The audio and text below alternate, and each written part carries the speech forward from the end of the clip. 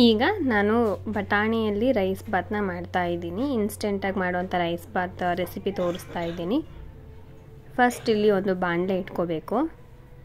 ಬಾಣಲೆ ಇಟ್ಟು ಗ್ಯಾಸ್ ಹಚ್ಚಿ ಅದಕ್ಕೆ ನಮಗೆ ಎಷ್ಟು ಬೇಕೋ ಅಷ್ಟು ಆಯಿಲ್ ಹಾಕೋಬೇಕು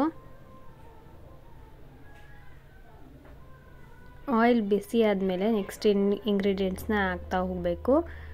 ಇದು ತುಂಬ ಚೆನ್ನಾಗಿರುತ್ತೆ. ನಾನು ಹೇಳ್ಕೊಡೋವಂಥ ಪ್ರತಿಯೊಂದು ರೆಸಿಪೀಸ್ ಬಂದು ಇನ್ಸ್ಟೆಂಟಾಗಿ ಮಾಡುವಂಥದ್ದು. ಇವಾಗ ಜೀರಿಗೆ ಸ್ವಲ್ಪ ಸಾಸಿವೆ ಹಾಕ್ಕೊಂಡಿದ್ದೀನಿ. ಅದು ಚಿಟಪಟ ಅಂತ ಸಿಡಿದ ಮೇಲೆ ಒಂದು ಸ್ವಲ್ಪ ಈರುಳ್ಳಿ ಹಾಕ್ಕೋತಾ ಇದ್ದೀನಿ. ಈರುಳ್ಳಿನ ಗೋಲ್ಡನ್ ಬ್ರೌನ್ ಬರೋ ರೀತಿ ನಾವು ಫ್ರೈ ಮಾಡ್ಕೋಬೇಕಾಗುತ್ತೆ. ಸಣ್ಣದಾಗಿ ಕಟ್ ಮಾಡಿ ಯಾಕಂತ ಹೇಳಿದರೆ ಮಕ್ಕಳಿಗೆ ಇವಾಗ ಲಂಚ್ ಬಾಕ್ಸ್ ಕೊಟ್ಟು ಕಳಿಸ್ತೀವಲ್ವ? ಅಕಸ್ಮಾತ್ ದೊಡ್ಡದಾಗಿತ್ತು ಅಂದರೆ ಅವರು ತಿನ್ನೋದು ಇಲ್ಲ. ಅದರಲ್ಲೇ ಟೈಮ್ ವೇಸ್ಟ್ ಮಾಡಿಬಿಡ್ತಾರೆ. ತೆಗ್ದಿಟ್ಟು ತೆಗ್ದಿಟ್ಟು ತಿನ್ನೋದಕ್ಕೆ. ಹಾಗಾಗಿ ಫುಲ್ ಸಣ್ಣದಾಗಿ ನಾವು ಕಟ್ ಮಾಡಿ ಹಾಕೋದ್ರಿಂದ ಫುಲ್ ಅದು ಇನ್ನೂ ಕೂಡ ಸಣ್ಣದಾಗ್ಬಿಡುತ್ತೆ. ಅದು ಬೆಂದಾದಮೇಲೆ ಹಾಗಾಗಿ ಅವ್ರು ಊಟ ಮಾಡೋ ಟೈಮಲ್ಲಿ ಊಟ ಮಾಡ್ತಾರೆ ಅದನ್ನು ಅದಕ್ಕೋಸ್ಕರ. ಇವಾಗ ಸಣ್ಣದಾಗಿ ಕಟ್ ಮಾಡಿರೋ ಅಂಥ ಹಸಿಮೆಣ್ಸಿನ್ಕಾಯಿ ಹಾಕ್ಕೊಂಡಿದ್ದೀನಿ ಹಾಗೆ ಬಟಾಣಿ, ಹಸಿ ಬಟಾಣಿ ಬರುತ್ತಲ್ವ ಅದನ್ನು ಹಾಕ್ಕೊಂಡಿದ್ದೀನಿ ಇವಾಗೆಲ್ಲ ಹಸಿ ಬಟಾಣಿ ಎಲ್ಲ ಈಸಿಯಾಗಿ ಸಿಗುತ್ತೆ. ಇಂಥ ಟೈಮಲ್ಲಿ ನೀವು ಇದನ್ನು ಮಾಡ್ಕೋಬೋದು. ಹಸಿ ಬಟಾಣಿ ಹಾಕ್ಕೊಂಡು ಅದಕ್ಕೆ ಒಂಚೂರು ಉಪ್ಪು ಹಾಕ್ಕೊಂಡು ಅದನ್ನು ಬೇಯಿಸ್ಕೋಬೇಕು. ಜಾಸ್ತಿ ಇಂಗ್ರೀಡಿಯೆಂಟ್ಸ್ ಏನೂ ಇಲ್ಲ. ಸ್ವಲ್ಪ ಸ್ವಲ್ಪನೇ ಇಂಗ್ರೀಡಿಯೆಂಟ್ಸ್ನ ಯೂಸ್ ಮಾಡಿ ಮಾಡ್ತಾ ಇದ್ದೀನಿ. ಜಾಸ್ತಿ ಆದರೂ ಕೂಡ ಮಕ್ಕಳಿಗೆ ಕಷ್ಟ ತಿನ್ನೋದಕ್ಕೆ, ಅಲ್ವಾ? ಹಾಗಾಗಿ, ಮತ್ತು ಹಸಿ ಬಟಾಣಿ ಬಂದುಬಿಟ್ಟು ಎಣ್ಣೆಯಲ್ಲಿ ಚೆನ್ನಾಗಿ ಬೆಂದರೆ ತುಂಬ ಚೆನ್ನಾಗಿರುತ್ತೆ ಟೇಸ್ಟು ಹಾಗಾಗಿ ಸ್ವಲ್ಪ ಹಸಿ ಬಟಾಣಿನ ನಾನು ಜಾಸ್ತಿ ಹಾಕ್ಕೊಂಡಿದ್ದೀನಿ. ಇವಾಗ ಅದು ಚೆನ್ನಾಗಿ ಫ್ರೈ ಆಗಿದೆ. ಈಗ ನಾನಿಲ್ಲಿ ಒಂದು ಕಪ್ಪಷ್ಟು ಅಕ್ಕಿ ಹಾಕ್ಕೋತಾ ಇದ್ದೀನಿ. ಸಾರಿ ಅನ್ನ ಹಾಕ್ಕೋತಾ ಇದ್ದೀನಿ. ನೀವು ಯಾವ ರೈಸ್ ಬೇಕಾದರೂ ಯೂಸ್ ಮಾಡ್ಬೋದು. ಬಾಸ್ಮತಿ ರೈಸ್ ಆದರೂ ಯೂಸ್ ಮಾಡ್ಬೋದಿಲ್ಲ. ನಾರ್ಮಲಾಗಿ ನೀವು ಯಾವ ರೈಸ್ ಯೂಸ್ ಮಾಡ್ತಿರೋ ಮನೆಯಲ್ಲೇ ಅದನ್ನು ಸಹ ನೀವು ಯೂಸ್ ಮಾಡ್ಬೋದು.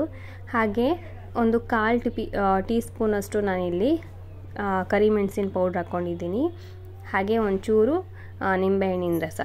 ಇದಿಷ್ಟನ್ನು ಹಾಕ್ಕೊಂಡು ನಾವು ಮಿಕ್ಸ್ ಮಾಡಿಕೊಂಡ್ರೆ ಬಿಸಿ ಬಿಸಿಯಾದ ಬಟಾಣಿ ರೈಸ್ ಬಾತ್ ರೆಡಿ. ಇನ್ಸ್ಟೆಂಟಾಗಿ ಮಾಡುವಂಥದ್ದು. ಫ್ರೈಡ್ ರೈಸ್ ಆದರೂ ಕೂಡ ಅನ್ಬೋದು ನೀವು. ತುಂಬ ಚೆನ್ನಾಗಿರುತ್ತೆ. ನೋಡೋದಕ್ಕೂ ಕೂಡ ತುಂಬ ಚೆನ್ನಾಗಿ ಕಾಣ್ತಾ ಇದೆ. ಹಾಗೆ ಟೇಸ್ಟ್ ಕೂಡ ಅಷ್ಟೇ ಚೆನ್ನಾಗಿರುತ್ತೆ. ಇದರಲ್ಲಿ ಯಾವುದೇ ರೀತಿ ಟೊಮೆಟೊ ಆಗಲಿ ಜಾಸ್ತಿ ಇಂಗ್ರೀಡಿಯೆಂಟ್ಸ್ ಏನು ಯೂಸ್ ಮಾಡಿಲ್ಲ. ಸ್ವಲ್ಪ ಇಂಗ್ರೀಡಿಯೆಂಟ್ಸ್ ಯೂಸ್ ಮಾಡಿದ್ದೀನಿ. ಮತ್ತು ಸಣ್ಣದಾಗಿ ಕಟ್ ಮಾಡಿ ಮಾಡಿಕೊಂಡಿರೋದ್ರಿಂದ ಇದು ಒಂದು ಅಡ್ವಾಂಟೇಜ್ ಮಕ್ಕಳಿಗೆ ಎಲ್ಲ ತಿಂತಾರೆ ಅಲ್ವಾ? ದೊಡ್ಡ ದೊಡ್ಡದಾಗಿದ್ದರೆ ಅವರು ತಿನ್ನೋದಕ್ಕೆ ಇಷ್ಟಪಡಲ್ಲ. ಎಲ್ಲದನ್ನು ಸಹ ತೆಗೆದಿಟ್ಕೊಡು ಅಂತ ಹೇಳ್ತಾರೆ. ಅದ್ರ ಬದಲು ಈ ರೀತಿ ಸಣ್ಣದಾಗಿ ಕಟ್ ಮಾಡಿ ಹಾಕೋದ್ರಿಂದ ಬೇಗ ಕೂಡ ಆಗುತ್ತೆ ಅಡುಗೆ. ಹಾಗೆ ಮಕ್ಕಳು ಸಹ ತಿಂತಾರೆ. ಇದು ಫಸ್ಟ್ ಒಂದು ರೆಸಿಪಿ ಆಯಿತು ನೆಕ್ಸ್ಟ್ ರೆಸಿಪಿ ಬಂದುಬಿಟ್ಟು ಕರ್ಡ್ ರೈಸ್ ಮೊಸರನ್ನ. ಮೊಸರನ್ನ ಎಲ್ರಿಗೂ ಗೊತ್ತು, ಬಟ್ ಈ ರೀತಿ ಒಂದು ಟೈಮ್ ಮಾಡಿಕೊಂಡು ನೋಡಿ ತುಂಬ ಚೆನ್ನಾಗಿರುತ್ತೆ. ಫಸ್ಟು ನಾನಿಲ್ಲಿ ರೈಸ್ ಹಾಕ್ಕೋತಾ ಇದ್ದೀನಿ. ಸಣ್ಣದಾಗಿ ಕಟ್ ಮಾಡಿರೋಂಥ ಈರುಳ್ಳಿ, ಹಾಗೆ ಹಸಿರು ಮೆಣಸಿನ್ಕಾಯಿ, ಮತ್ತು ಒಂಚೂರು ಕೊತ್ತಂಬರಿ ಸೊಪ್ಪು. ಹಾಗೆ ಮೊಸರು. ಮೊಸರು ಬಂದುಬಿಟ್ಟು ಇಲ್ಲಿ ನಾನು ಜಾಸ್ತಿ ಯೂಸ್ ಮಾಡ್ತಾಯಿಲ್ಲ ಮೀಡಿಯಮಾಗಿ ಯೂಸ್ ಮಾಡ್ತಾ ಇದ್ದೀನಿ ಮೊಸರು. ನೋಡಿ ಒಂದೂವರೆ ಕಪ್ಪಷ್ಟು ನಾನಿಲ್ಲಿ ಮೊಸರು ತಗೋತಾ ಇದ್ದೀನಿ. ಸಣ್ಣ ಕಪ್ಪಲ್ಲಿ ಒಂದೂವರೆ ಕಪ್ಪಷ್ಟು ಮೊಸರು. ಹಾಗೆ ಒಂಚೂರು ಉಪ್ಪು. ಇದಿಷ್ಟನ್ನು ಹಾಕ್ಕೊಂಡು ಹಾಗೆ ಇದಕ್ಕೆ ನೀವು ಬೇಕಾದರೆ ಹಸಿ ದ್ರಾಕ್ಷಿ ಬರುತ್ತಲ್ವ, ಅದನ್ನು ಹಾಕ್ಕೋಬೋದು, ಇಲ್ಲಾಂದರೆ ದಾಳಿಂಬ್ರೆ ಹಣ್ಣು ಹಾಕ್ಕೋಬೋದು. ನಾನಿಲ್ಲಿ ಒಣ ದ್ರಾಕ್ಷಿ ಬರುತ್ತಲ್ವ, ಅದನ್ನು ಹಾಕ್ಕೋತಾ ಇದ್ದೀನಿ. ಇವಾಗ ಇದನ್ನು ಮಿಕ್ಸ್ ಮಾಡ್ಕೊಂಬಿಡೋಣ.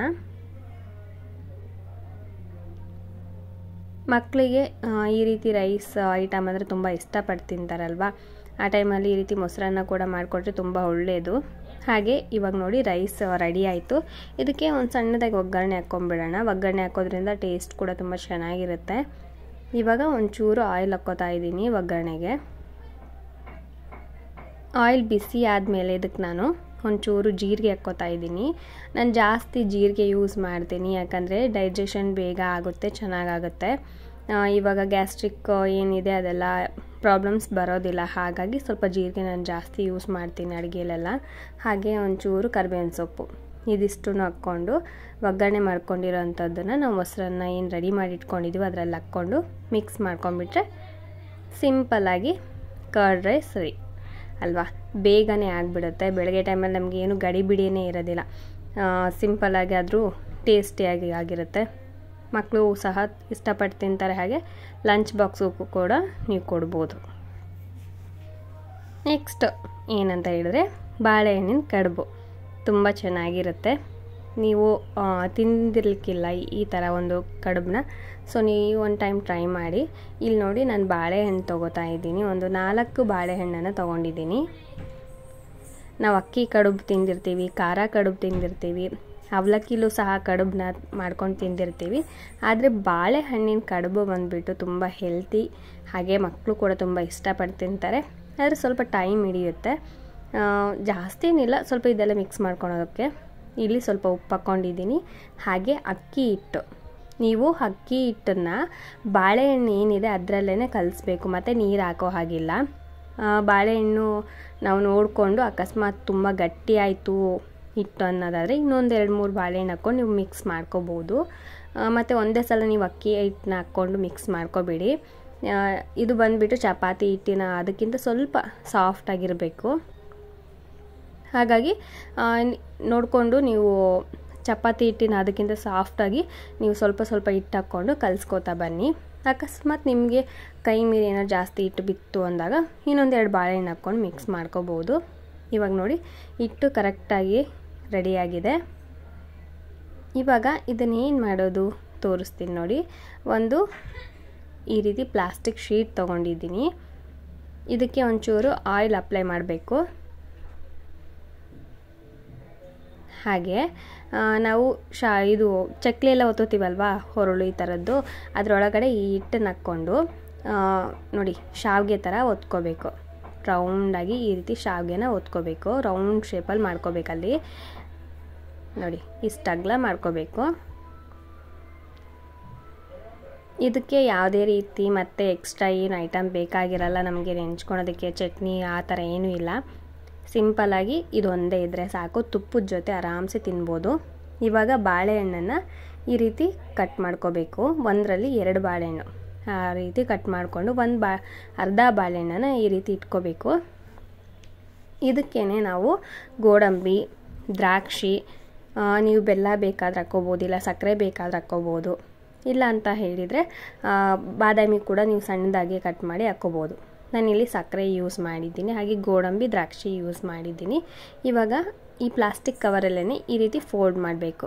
ಕೈಯಲ್ಲಿ ಮಾಡ್ಲಿಕ್ಕೆ ಬರಲ್ಲ, ಯಾಕಂದರೆ ಅದು ಹಸಿ ಇರುತ್ತಲ್ವ, ಕೈಯಲ್ಲೆಲ್ಲ ಅಂಟುಬಿಡುತ್ತೆ. ಈ ರೀತಿ ಎಲ್ಲ ಕಡುಬುಗಳನ್ನ ನಾವು ರೆಡಿ ಮಾಡಿ ಇಟ್ಕೋಬೇಕು. ಇಲ್ಲಿ ನಾನು ಒಂದು ಪಾತ್ರೆಯಲ್ಲಿ ನೀರು ತಗೋತಾ ಇದ್ದೀನಿ. ಕಡುಬನ್ನು ನಾವು ಬೇಯಿಸ್ಕೊಳೋದಕ್ಕೆ ಮತ್ತು ಇಲ್ಲಿ ನಾವು ಬೇಳೆ ಬೇ ಬಸಿಯೋದಕ್ಕಂತ ಯೂಸ್ ಮಾಡ್ತೀವಲ್ವಾ? ಅದನ್ನು ಇಟ್ಕೊಂಡು ಅದ್ರ ಮೇಲ್ಗಡೆ ಒಂದು ಕಾಟನ್ ಬಟ್ಟೆ ಹಾಕ್ಕೋಬೇಕು. ಅದ್ರ ಮೇಲ್ಗಡೆ ನಾವೇನು ಕಡುಬನ್ನು ರೆಡಿ ಮಾಡಿ ಇಟ್ಕೊಂಡಿದ್ದೀವೋ ಅದನ್ನು ಇಟ್ಕೋಬೇಕು. ಮೇಲ್ಗಡೆ ಒಂದು ಪ್ಲೇಟ್ನ ಕ್ಲೋಸ್ ಮಾಡಿ ನಾವು ಇದನ್ನು ಬೇಯಿಸ್ಕೋಬೇಕಾಗುತ್ತೆ. ಜಸ್ಟ್ ಒಂದು ಹತ್ತು ನಿಮಿಷ ನಾವು ಇದನ್ನು ಬೇಯಿಸ್ಕೊಂಡ್ರೆ ಸಾಕು. ಇವಾಗ ನೋಡಿ, ಕೈಗೇನು ಅಂಟುತ್ತಾ ಇಲ್ಲ. ಇದೆಲ್ಲ ಇವಾಗ ರೆಡಿಯಾಗಿದೆ ನೋಡಿ. ಈ ರೀತಿ ಬಂದರೆ ಸಾಕು. ಶಾವಿಗೆ ನೀಟಾಗಿ ನಮ್ಮ ಕೈಗೆ ಬರಬೇಕು.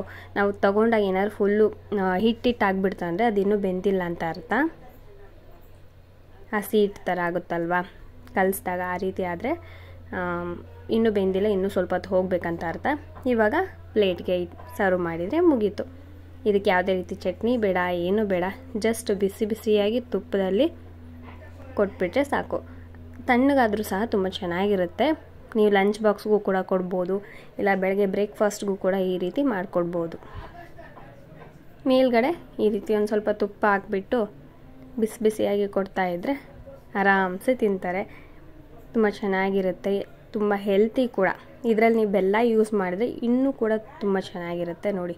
ನಾನು ಮಾಡಿದ ತಕ್ಷಣ ಫಸ್ಟು ತಿಂದು ಟೇಸ್ಟ್ ಮಾಡ್ತಾ ಇದ್ದೀನಿ. ಅಷ್ಟು ಸೂಪರಾಗಿದೆ ಆಮೇಲೆ ತಿಂತೀನಿ ಇನ್ನೂ ಕೂಡ ನಿಮಗಿನ್ನೂ ರೆಸಿಪೀಸ್ ತೋರಿಸೋದಿದೆ. ಹಾಗಾಗಿ ಬನ್ನಿ ನೆಕ್ಸ್ಟ್ ರೆಸಿಪಿಗೆ ಹೋಗೋಣ. ಇದು ಶಾವಿಗೆ ಬಾತ್ ತುಂಬ ಚೆನ್ನಾಗಾಗುತ್ತೆ ಶಾವಿಗೆ ಬಾತ್ ಯಾವ ರೀತಿ ಮಾಡೋದಂತ ಹೇಳಿ ತೋರಿಸ್ಕೊಡ್ತಾ ಇದ್ದೀನಿ.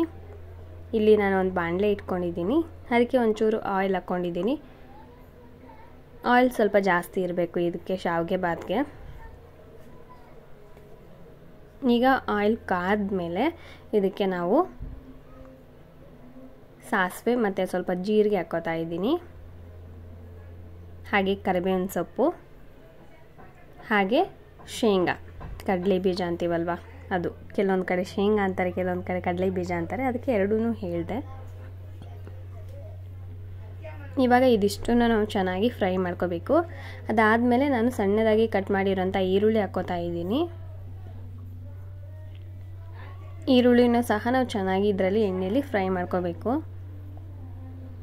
ಮಕ್ಕಳು ಸಹ ತುಂಬ ಅಂದರೆ ತುಂಬ ಇಷ್ಟಪಟ್ಟು ತಿಂತಾರೆ. ಈ ಶಾವಿಗೆ ಬಾತ್ ಬಂದುಬಿಟ್ಟು.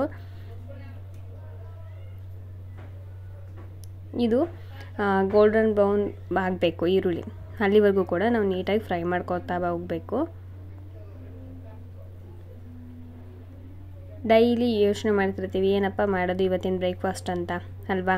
ಈ ರೀತಿ ಒಂದು ಮಾಡಿಕೊಡಿ ಮಕ್ಕಳು ತುಂಬ ಇಷ್ಟಪಡ್ತಾರೆ. ಇವಾಗ ನಾನಿಲ್ಲಿ ಅಚ್ಕಾರದ ಪುಡಿ ಹಾಕ್ಕೊಂಡಿದ್ದೀನಿ. ಅಚ್ಕಾರದ ಪುಡಿನೂ ಸಹ ಇದರಲ್ಲಿ ನೀಟಾಗಿ ಮಿಕ್ಸ್ ಆಗಬೇಕು.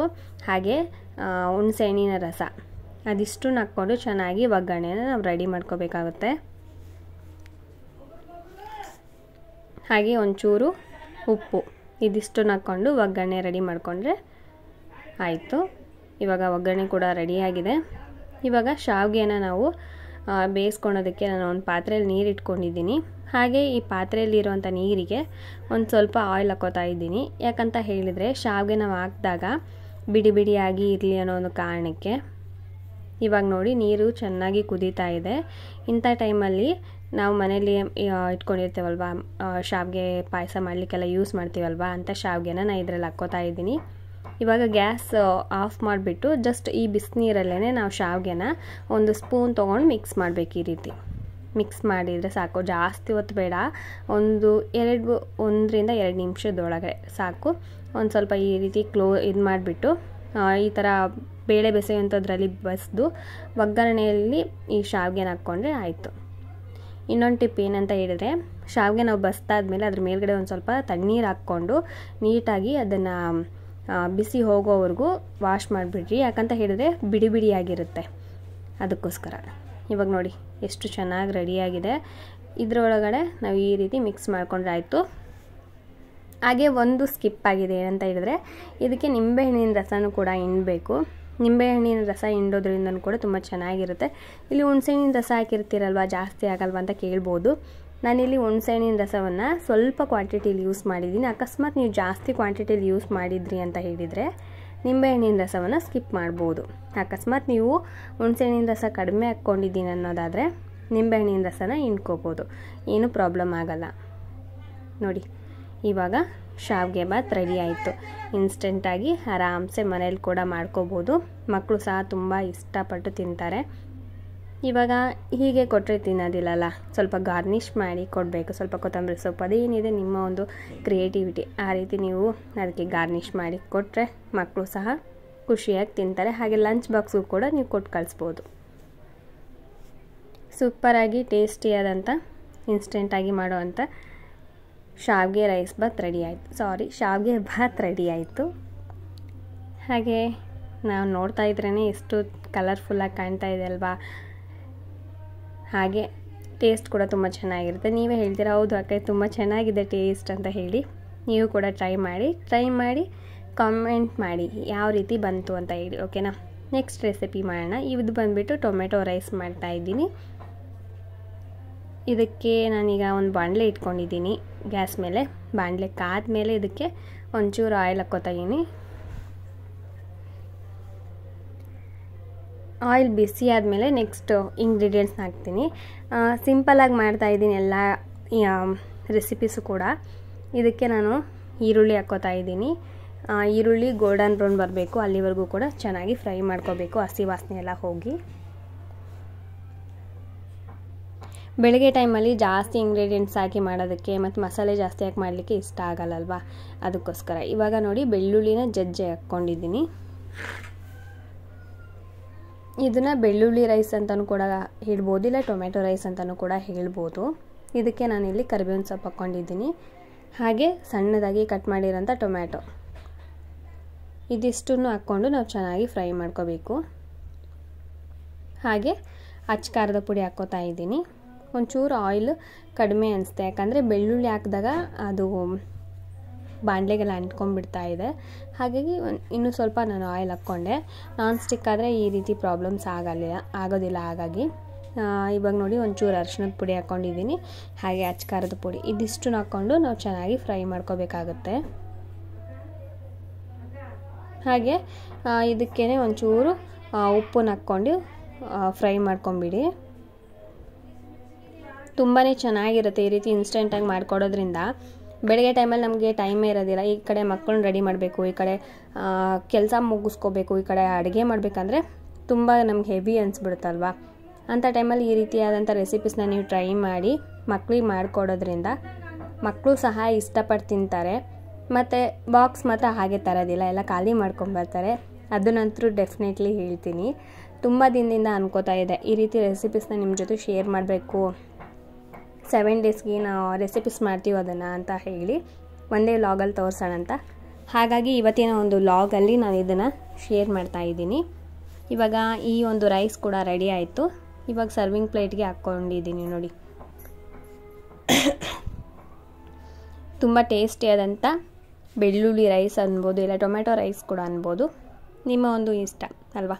ಇವಾಗ ಬಂದುಬಿಟ್ಟು ಕ್ಯಾಬೇಜ್ ರೈಸ್ನ ರೆಡಿ ಮಾಡ್ತಾ ಇದ್ದೀನಿ. ತುಂಬ ಅಂದರೆ ತುಂಬ ಚೆನ್ನಾಗಿರುತ್ತೆ. ಇದು ಮಾತ್ರ ಎಲೆಕೋಸಿನ ರೈಸ್ ತುಂಬ ಚೆನ್ನಾಗಿರುತ್ತೆ.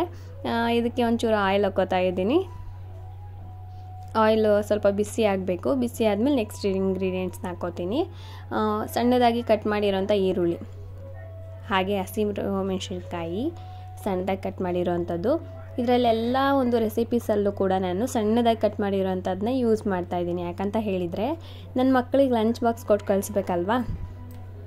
ಅವರಿಗೆ ಜಾಸ್ತಿ ದಪ್ಪವಾಗಿರೋವಂಥದ್ದು ಏನಾರು ಹಾಕ್ಬಿಟ್ಟೆ ಅಂದರೆ, ಎಲ್ಲ ಇಲ್ಲೇ ತೆಗ್ದಿಟ್ಟು ನನಗೆ ಆಮೇಲೆ ಲಂಚ್ ಬಾಕ್ಸ್ ಕಟ್ಟು ಅಂತ ಹೇಳ್ತಾನೆ ನನ್ನ ಮಗ.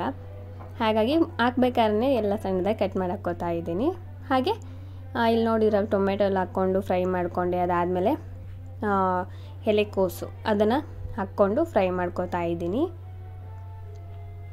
ತುಂಬ ಚೆನ್ನಾಗಿರುತ್ತೆ. ಇದು ಪೂರ್ತಿಯಾಗಿ ಬೇಯಬೇಕಂತಂದೇನಿಲ್ಲ. ಮುಕ್ಕಾಲು ಪರ್ಸೆಂಟ್ ಅದು ಎಲೆಕೋಸು ಬೆಂದರೆ ಸಾಕು. ಹಾಗೆ ಕ್ರಂಚಿ ಕ್ರಂಚಿ ಅಂತ ಒಂಥರ ಹಸಿ ಹಸಿ ಇರುತ್ತಲ್ವ ತಿನ್ಬೇಕಾದ್ರೆ ಅದು ಕೂಡ ತುಂಬ ಚೆನ್ನಾಗಿರುತ್ತೆ ಟೇಸ್ಟು. ಮತ್ತು ಇದಕ್ಕೆ ಒಂಚೂರು ಉಪ್ಪು ಹಾಕ್ಕೋತಾ ಇದ್ದೀನಿ. ಇದಿಷ್ಟು ಹಾಕ್ಕೊಂಡು ನಾವು ಚೆನ್ನಾಗಿ ಫ್ರೈ ಮಾಡ್ಕೋಬೇಕಾಗತ್ತೆ. ಹಾಗೆ ಇದಕ್ಕೆ ಒಂಚೂರು ಅಚ್ಚಕಾರದ ಪುಡಿ ಹಾಕ್ಕೋತೀನಿ. ಇದಿಷ್ಟು ನಾವು ನೀಟಾಗಿ ಮಿಕ್ಸ್ ಮಾಡ್ಕೋಬೇಕು. ಮಕ್ಕಳಿಗೆ ಏನಂದರೆ ಸಿಂಪಲ್ ಆಗಿರಬೇಕು ಟೇಸ್ಟಿಯಾಗಿರಬೇಕು ಜಾಸ್ತಿ ಇಂಗ್ರೀಡಿಯೆಂಟ್ಸ್ ಇರಬಾರ್ದು. ಆ ರೀತಿ ಇದ್ದರೆ ಮಾತ್ರ ಮಕ್ಕಳು ಇಷ್ಟಪಡ್ತಾರಲ್ವ? ನಮಗೂ ಆದರೂ ಅಷ್ಟೇ. ಜಾಸ್ತಿ ಇಂಗ್ರೀಡಿಯೆಂಟ್ಸ್ ಇರಬಾರ್ದು ಟೇಸ್ಟಿಯಾಗಿರಬೇಕು ಬೇಗ ಮುಗಿಬೇಕು, ಆ ಥರನೇ ಯೋಚನೆ ಮಾಡ್ತೀವಿ. ಅಂಥ ಟೈಮಲ್ಲಿ ಈ ಥರ ಒಂದು ರೆಸಿಪೀಸ್ನ ನೀವು ಟ್ರೈ ಮಾಡ್ಬೋದು. ಇವಾಗ ನಾನು ಕೊತ್ತಂಬರಿ ಕಾಳಿನ ಪೌಡ್ರ್, ಅಂದರೆ ಧನಿಯಾ ಪುಡಿ ಹಾಕ್ಕೊಂಡಿದ್ದೀನಿ. ಒಂಚೂರು ಹಾಕ್ಕೊಂಡಿದ್ದೀನಿ, ಜಾಸ್ತಿ ಏನಲ್ಲ. ಇದಿಷ್ಟನ್ನು ಮಿಕ್ಸ್ ಮಾಡಿಕೊಂಡು ಅದಾದಮೇಲೆ ನಾನು ಒಂದು ಬೌಲಷ್ಟು ರೈಸ್ ಹಾಕೋತಾ ಇದ್ದೀನಿ. ಇವಾಗ ರೈಸ್ನ ಎಲ್ಲ ನೀಟಾಗಿ ಇದ್ರೊಳಗಡೆ ಮಿಕ್ಸ್ ಮಾಡಿಕೊಂಡ್ರೆ ಆಯಿತು. ಕ್ಯಾಬೇಜ್ ರೈಸ್ ರೆಡಿ ಆಯಿತು. ಇವಾಗ ಇದನ್ನು ಸರ್ವಿಂಗ್ ಪ್ಲೇಟಿಗೆ ಹಾಕ್ಕೊಂಡು ಮೇಲ್ಗಡೆ ಒಂಚೂರು ಈರುಳ್ಳಿ ಹಾಕ್ಕೊಂಡ್ರೆ ಟೇಸ್ಟಿ ಟೇಸ್ಟಿಯಾದ ಕ್ಯಾಬೇಜ್ ರೈಸ್ ರೆಡಿ ಆಯಿತು. ನೀವು ಕೂಡ ಟ್ರೈ ಮಾಡಿ ಟ್ರೈ ಮಾಡಿದ್ಮೇಲೆ ಹೇಗೆ ಬಂತು ಅಂತ ಅನ್ನೋದನ್ನು ಕಾಮೆಂಟ್ ಮಾಡಿ ಹೇಳೋದನ್ನು ಮಾತ್ರ ಮರಿಬೇಡಿ. ಓಕೆನಾ ಈಗ ನೋಡಿ. ರೆಡಿ ಆಯಿತು. ಕ್ಯಾಬೇಜ್ ರೈಸ್ ನಮ್ಮನೇಲಿ ಎಲ್ರಿಗೂ ಕೂಡ ತುಂಬ ಇಷ್ಟ. ಇದು ಇನ್ಸ್ಟೆಂಟಾಗಿ ಮಾಡ್ತೀವಿ, ಮತ್ತು ಟೇಸ್ಟ್ ಕೂಡ ಹಾಗೆ ತುಂಬ ಚೆನ್ನಾಗಿರುತ್ತೆ. ಅದಕ್ಕೋಸ್ಕರ ಇದನ್ನು ಅವಾಗವಾಗ ಟ್ರೈ ಮಾಡ್ತಾ ಇರ್ತೀನಿ. ನೆಕ್ಸ್ಟ್ ವಿಡಿಯೋಗೆ ಹೋಗೋಣ ಬನ್ನಿ. ಇದು ಸಿಂಪಲಾಗಿ ಮಾಡುವಂಥ ಒಂದು ಶೇಂಗಾ ರೈಸ್ನ ಮಾಡ್ತಾಯಿದ್ದೀನಿ ತುಂಬ ಚೆನ್ನಾಗಿರುತ್ತೆ. ಇವಾಗ ನೋಡಿ ಆಯಿಲ್ ಹಾಕ್ಕೋತಾ ಇದ್ದೀನಿ. ಆಯಿಲ್ ಸ್ವಲ್ಪ ಬಿಸಿ ಆಗಬೇಕು. ಬಿಸಿ ಆದಮೇಲೆ ಇದಕ್ಕೆ ಸಾಸಿವೆ ಹಾಕ್ಕೋತಾ ಇದ್ದೀನಿ. ಸಾಸಿವೆ ಚಿಟಪಟ ಅಂತ ಎಲ್ಲ ಸಿಡಿಬೇಕು. ಅದಾದಮೇಲೆ ನಾವು ಇದಕ್ಕೆ ಕರಿಬೇವಿನ ಸೊಪ್ಪು ಹಾಕೋಬೇಕಾಗುತ್ತೆ ಕರಿಬೇವಿನ ಸೊಪ್ಪು ಕೂಡ ಫ್ರೈ ಆದಮೇಲೆ ಇದಕ್ಕೆ ನಾನು ಶೇಂಗಾ ಹಾಕ್ಕೋತಾ ಇದ್ದೀನಿ. ಶೇಂಗಾ ಸ್ವಲ್ಪ ಕ್ವಾಂಟಿಟಿ ಜಾಸ್ತಿ ಹಾಕೋತಾ ಇದ್ದೀನಿ. ತುಂಬ ಚೆನ್ನಾಗಿರುತ್ತೆ ಈ ಒಂದು ರೈಸಲ್ಲಿ ಶೇಂಗಾ. ಶೇಂಗಾನು ಕೂಡ ಗೋಲ್ಡನ್ ಬ್ರೌನ್ ಬರಬೇಕು. ಆ ರೀತಿ ಫ್ರೈ ಮಾಡ್ಕೊಂಬಿಡೋಣ ಅದಾದಮೇಲೆ ಇದಕ್ಕೆ ಸಣ್ಣದಾಗಿ ಕಟ್ ಮಾಡಿರೋಂಥ ಈರುಳ್ಳಿ ಹಾಕೋತಾ ಇದ್ದೀನಿ. ಹಾಗೆ ಉದ್ದುದ್ದಕ್ಕೆ ಕಟ್ ಮಾಡಿರೋಂಥ ಹಸಿರು ಮೆಣಸಿನ್ಕಾಯಿ ಇದಿಷ್ಟನ್ನು ಹಾಕ್ಕೊಂಡು ಚೆನ್ನಾಗಿ ಫ್ರೈ ಮಾಡ್ಕೋಬೇಕು. ಅದಾದಮೇಲೆ ಇದಕ್ಕೆ ಕೊತ್ತಂಬರಿ ಸೊಪ್ಪು ಇದರಲ್ಲೇ ಹಾಕ್ಕೊಂಡು ಫ್ರೈ ಮಾಡ್ಕೋತೀನಿ. ಕೊತ್ತಂಬರಿ ಸೊಪ್ಪು ಎಣ್ಣೆಲಿ ಫ್ರೈ ಮಾಡ್ತಿರ್ತೀವಲ್ವ, ಅದ್ರ ಸ್ಮೆಲ್ಲು ಮತ್ತು ಫ್ಲೇವರ್, ಟೇಸ್ಟ್ ಎಲ್ಲ ಕೂಡ ತುಂಬ ಚೆನ್ನಾಗಿರುತ್ತೆ ಅದಕ್ಕೋಸ್ಕರ. ಹಾಗೆ ಉಪ್ಪು, ಇದಿಷ್ಟನ್ನು ಹಾಕ್ಕೊಂಡು ಚೆನ್ನಾಗಿ ಫ್ರೈ ಮಾಡ್ಕೊಂಡ್ಬಿಟ್ರೆ ಮುಗೀತು. ಅದಾದಮೇಲೆ ಇದಕ್ಕೆ ನಾವು ಒಂದು ಕಪ್ಪಷ್ಟು ಹಾಕ್ ರೈಸ್ ಹಾಕ್ಕೊಂಡು ಮಿಕ್ಸ್ ಮಾಡ್ಕೊಂಡ್ಬಿಟ್ರೆ ಟೇಸ್ಟಿ, ಟೇಸ್ಟಿಯಾದ ಶೇಂಗಾ ರೈಸ್ ರೆಡಿ ಹಾಗೆ ಇದಕ್ಕೊಂಚೂರು ನಿಂಬೆಹಣ್ಣಿನ ರಸ ಹಾಕ್ಕೊಂಬಿಡೋಣ ಟೇಸ್ಟು ಇನ್ನೂ ಕೂಡ ಚೆನ್ನಾಗಾಗುತ್ತೆ. ಇವಾಗ ಮಿಕ್ಸ್ ಮಾಡ್ಕೊಂಬಿಟ್ಟು ಸರ್ವಿಂಗ್ ಪ್ಲೇಟ್ಗಾದರೂ ಇಲ್ಲ ಲಂಚ್ ಬಾಕ್ಸಿಗಾದರೂ ನಾವು ಕ, ಕಟ್ಟಿಟ್ಬಿಟ್ರೆ ಮುಗೀತು. ಇವತ್ತಿನ ಒಂದು ರೆಸಿಪೀಸ್ ಇದಾಗಿತ್ತು. ನಿಮ್ಮೆಲ್ರಿಗೂ ಯೂಸ್ ಆಗಿದೆ ಅಂತ ಅಂದ್ಕೋತೀನಿ ಇವತ್ತಿನ ವಿಡಿಯೋ ಯೂಸ್ ಆಗಿದ್ದರೆ ಲೈಕ್ ಮಾಡಿ ಶೇರ್ ಮಾಡಿ, ಹಾಗೆ ಕಾಮೆಂಟ್ ಮಾಡಿ. ಸಬ್ಸ್ಕ್ರೈಬ್ ಮಾಡದೆ ನೋಡ್ತಾ ಇದ್ದರೆ ಪ್ಲೀಸ್ ಸಬ್ಸ್ಕ್ರೈಬ್ ಸಬ್ಸ್ಕ್ರೈಬ್ ಮಾಡಿ. ನೆಕ್ಸ್ಟ್ ವಿಡಿಯೋದಲ್ಲಿ ಮತ್ತೆ ಸಿಗ್ತೀನಿ ಅಲ್ಲಿವರೆಗೂ keep watching my channel have a nice day bye bye take care